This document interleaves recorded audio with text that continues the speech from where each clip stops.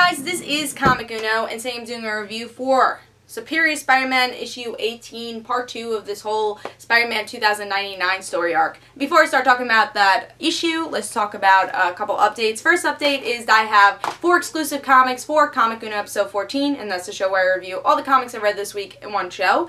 And exclusive comics are Venom issue 41, um, Daredevil issue 31, and um, I have two exclusive Villain Month issues that are going to be on Comic Uno episode 14 and in-depth reviews on Dark Avenger Inc because we are covering every Villains Month um, issue um, throughout all the reviewers on Dark Avenger Inc, and these are ones I'll be contributing with, and that's The Flash, uh, The Rogues issue 23.3, and um, Detective Comics Scarecrow issue 23.3.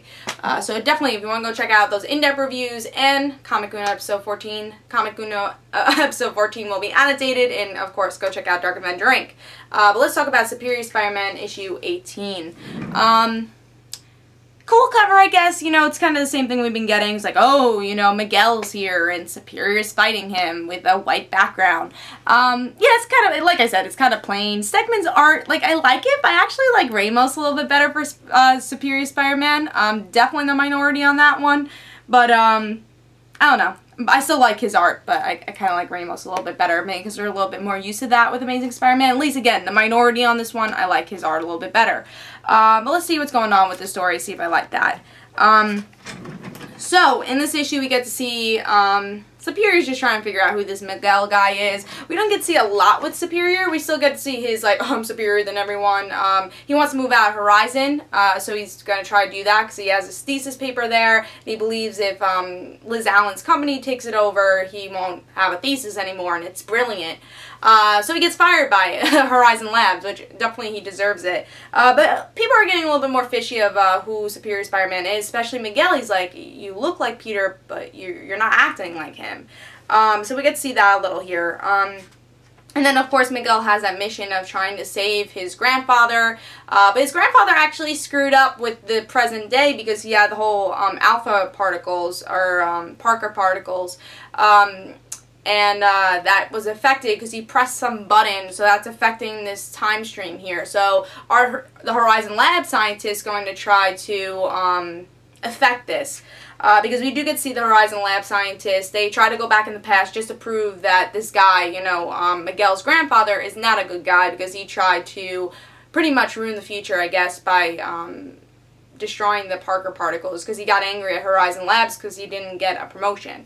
Um, and that's pretty much what's going on. Um, Superior Spider-Man acts like pretty much an asshole to MJ. MJ's like, I need to talk to you. He's like, not now, woman. So, you know, we, are getting the same type of Superior stuff we've been getting. Um, and of course, now that, um, I can't think of the guy's name from Horizon Labs, but, uh, Grungy, I think his name is? Yeah, uh, Grady. He goes back to the past just to prove that, um, Miguel's grandfather did something with the uh, Parker particles and that's destroying the present. Um, now there's all these other particles in the present because he went back in the past. So what's going to happen with that, I don't know. Will this affect um, the future somehow? Because Miguel has to um, protect the future by going in the past and that's why he's even in the past is protect the future. And that's pretty much what happens. And uh, there's particles around. That's it. Yeah, it's kind of a confusing issue. Like, even describing it, it's kind of a confusing issue of everything going on. There's a lot going on here. Um, I still thought it was a, a, solid issue. You know, I think there's a lot going on in a good way. Um, I thought this was a lot better than the last issue. Um, it felt less divided. Um, it, was, it felt more integrated with uh, with uh, Spider-Man 2099, uh, but still didn't love it. You know, I'm still not, I really don't care about Spider-Man 2099, and this, this story arc is not making me care for him. Uh, but at least the ending feels like something's going on. More people are finding out that Superior is being an asshole for some sort reason, and they actually want to find out exactly why. So I think that's interesting. Um, and then also we get that the stories of the Green Goblin story too.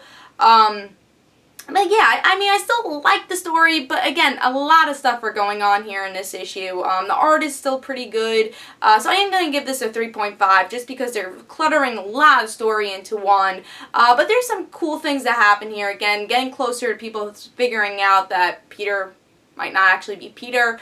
Um, him actually being on the bottom finally him being on a low saying oh you know i lost horizon i'm fired from that. So he, he's kind of on the bottom where peter usually is. Uh, so i kind of like seeing superior a little upset.